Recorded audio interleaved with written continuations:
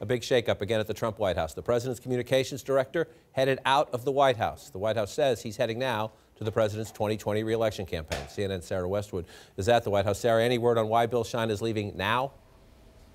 Well, John, this is an unexpected departure. The White House announcing Bill Shine's resignation today, saying that Shine offered his resignation to the president last night and that he will now become a senior advisor to the 2020 campaign. There's not a lot of clarity about what that job on the campaign would entail or his reasons for leaving, but Shine, of course, was brought on board to improve the president's press coverage that clearly did not happen in the less than a year that Shine served in this White House.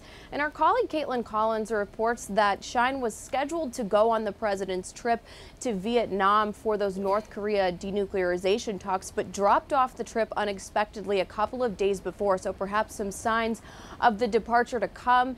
And it's not clear, John, who will take Shine's job as the effective communications director in the White House. There have been six people who have held the title of communications director at the White House or who have done that job effectively. Uh, so the White House now will be looking for a seventh White House communications director as the White House heads into a difficult period with the impending release of the Mueller report and dealing with the Democratic House. So it'll be interesting to see uh, who, if anyone, the White House will be able to get to fill that position, John.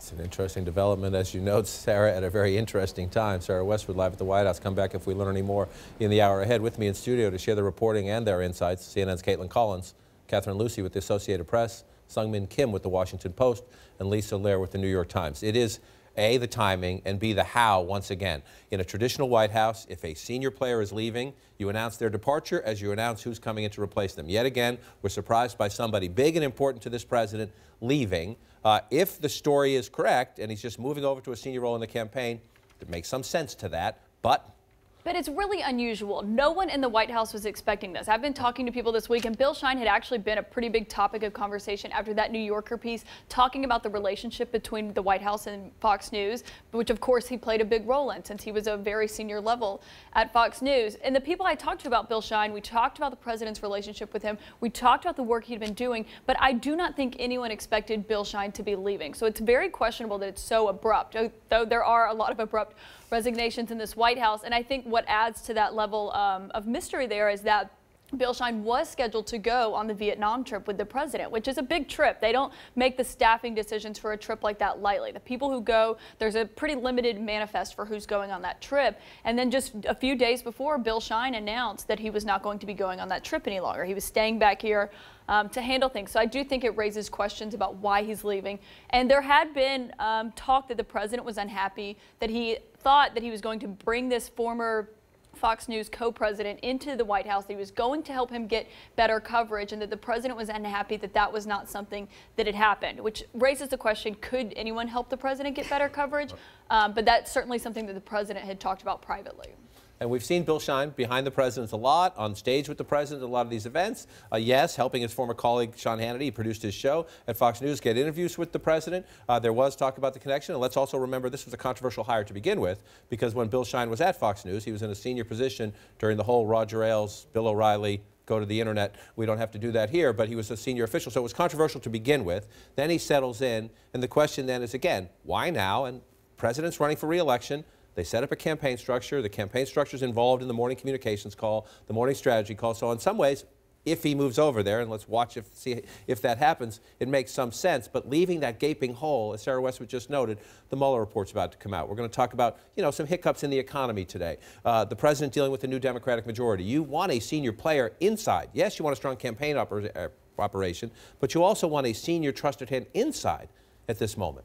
Yeah, I mean, this is a huge moment for this White House with a lot of messaging needs going into, you know, all of these events you're talking about. And, but a, a, question I think we have to think about, especially with, you know, Kaitlan's comments about the Vietnam trip, is just what role he had been playing in the weeks leading up to this. You know, was this a sort of a snap decision based on something that we're still yet to find out, or had this been percolating for some time? Had he, you know, lost the confidence of the president in some way that maybe meant that he wasn't able to advise on those decisions? I mean, that's we're still trying to figure out if that's and the I'm just going to. But the president's a very, very hard critic in right. terms of the media he gets. He, we all know how much media he takes in and just how much he cares about the way he's portrayed on TV. And I'm just going to say this because you read these statements put out. Bill Shine has his own statements. It was the highest honor of his life.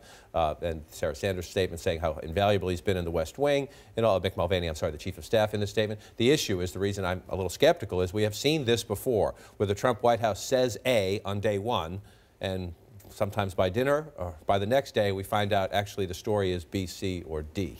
And oftentimes we see that these jobs do not get filled or do not get filled in any kind of a timely manner. And this one feels like it would be particularly hard to fill because in many ways the president is his own communications director, right?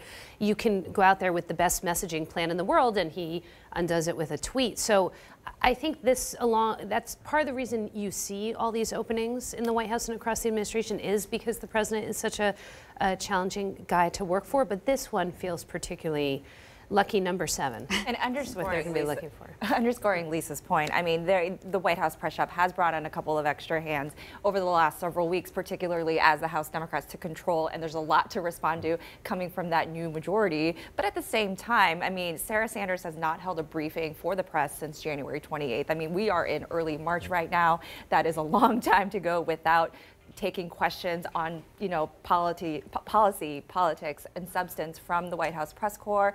And the president does do his impromptu gaggles like he did this morning, but that's not a substitute for answering questions. Yeah, and this was a cursed position. I mean, look at so many people who had had this job. I mean, Jason Miller, Sean Spicer, Mike Dubke, Anthony Scaramucci, Hope Hicks. There have been so many communications directors in the This pretty job short always time. reminds me of the uh, Defense of the Dark Arts teacher in Hogwarts because they're just they're constantly coming in. a lot, whenever we reported a story in the comms team not that long ago saying that there had been complaints about what Bill Shine's strategy was, how his he sent officials on Fox News, but really, wasn't really trying to expand their support beyond that. But people did talk about how it's a very tough job to be President Trump's communications director when he is his own communications. And we've seen this inside the White House, but also across this administration from day one.